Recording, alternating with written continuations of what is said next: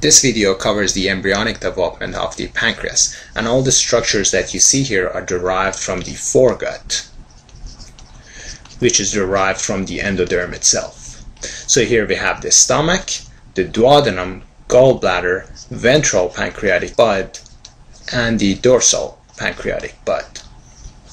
So during embryonic development, ventral pancreatic bud rotates and goes to the other side, fuse with the dorsal bud, and forms the pancreas. So as you can see, the ventral bud contributes to the head of the pancreas, the main pancreatic duct, as well as the uncinate process.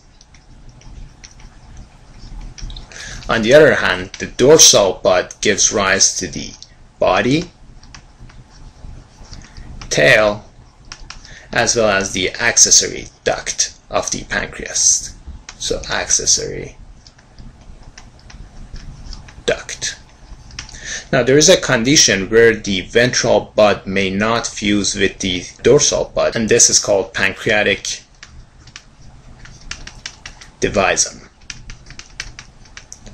and thus the head will empty into the main pancreatic duct while the body and tail will empty into the accessory pancreatic duct.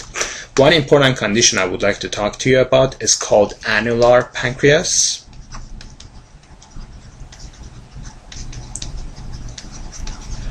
where during rotation of the ventral bud, it rotates around the second part of the duodenum and thus it causes narrowing of the duodenum. So this is again called annular pancreas.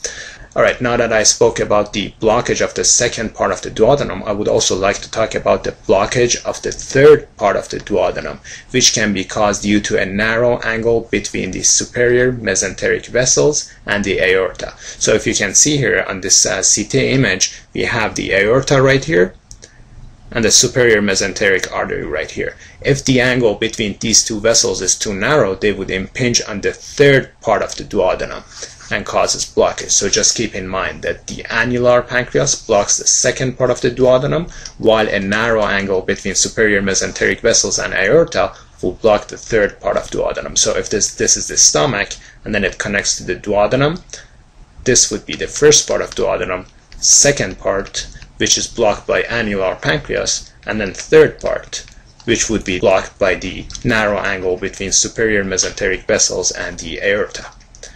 And that concludes our discussion.